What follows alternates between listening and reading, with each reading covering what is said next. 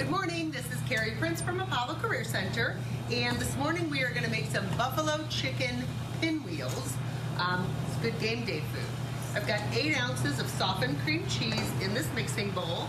I'm going to start off with uh, adding to that mixing bowl some green onion. Who doesn't love buffalo chicken? I do. And these are really great. You can make these ahead, so you're not in the kitchen during the during the game or, or any of your other preparations there. All right, you've got about a half a cup of blue cheese crumbles. If you don't like blue cheese, you can omit that, obviously.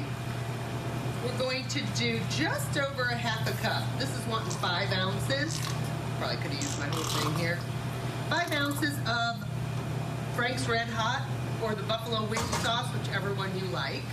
And again, if you like things really spicy, you can add a little bit more.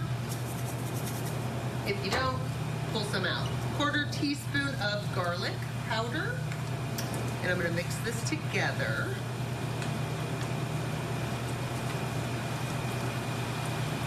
Oh, it smells good. Even in this early morning, it smells good. I really can smell that blue cheese. Now, if you really, if you don't like blue cheese, you could add cheddar. More cheddar, I should say. Okay, I'm gonna add three cups of shredded chicken. Now I went and purchased this out of the deli. Um, I'm gonna go three hand, good sized handfuls for three cups. That's so easy. Easy, easy way to get your chicken. You know, rotisserie chicken is so flavorful.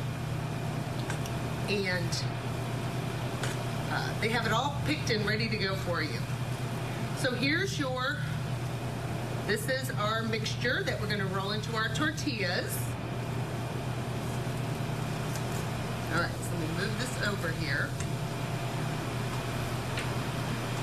Now, any size flour tortilla that you want, I get the 10 inch uh, tortillas, and we're just going to add, put some of this mixture down.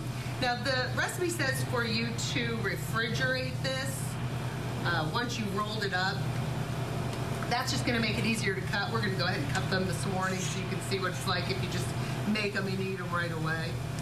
Either way you can do. And I'll just do the one here for us.